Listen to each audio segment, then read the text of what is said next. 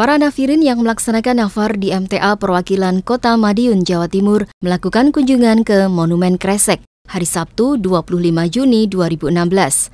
Monumen yang terletak 15 km arah timur kota Madiun ini menjadi gambaran keganasan pemberontakan Partai Komunis Indonesia atau PKI.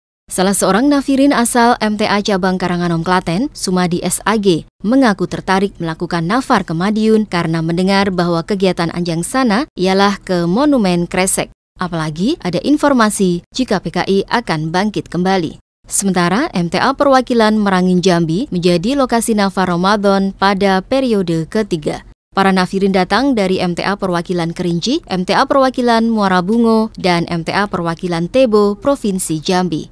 Ketua MTA Perwakilan Merangin Mustolah mengungkapkan Nafirin mendapatkan materi doa harian, adab menjenguk orang sakit, adab tidur, serta praktek perawatan jenazah.